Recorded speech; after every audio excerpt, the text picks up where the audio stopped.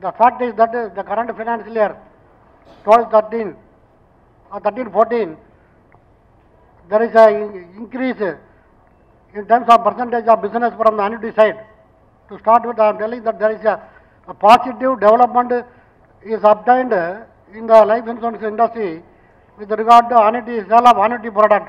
So even though there are constraints, the constraints for the annuity products uh, are not familiar or akin to only India. It is a global uh, phenomena because providing a guarantee, a pakka guarantee by a, uh, for a annuity product, that too uh, uh, after the uh, deferment period is a very Herculean task because for example, if a gentleman takes a policy at the age of 60, uh, 30, and he is uh, obtaining a superannuation at the age of uh, uh, 60, and the policy runs for uh, up to 80.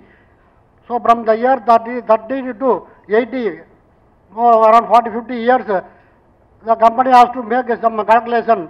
It is a, really a Herculean, uh, Herculean task.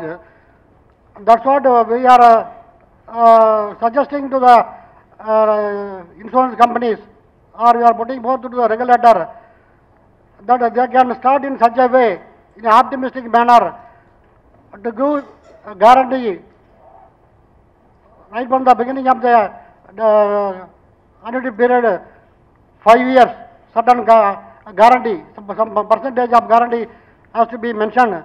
Then only it will be attracting the uh, uh, uh, person who can uh, wanted to take insurance for annuity policies.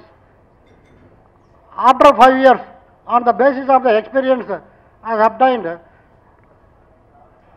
further guarantees can be ensured by the insurance company. Then only the product can be pushed through in the market. And moreover, the insurance company must take initiative to see that the R&D products are to be sold during the active period of a gentleman.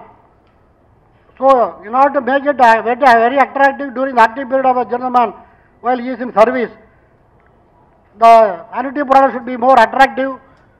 Uh, then only you will have the in- intention or inclination to take the policy. So, this is my observation with regard to the life insurance side is concerned.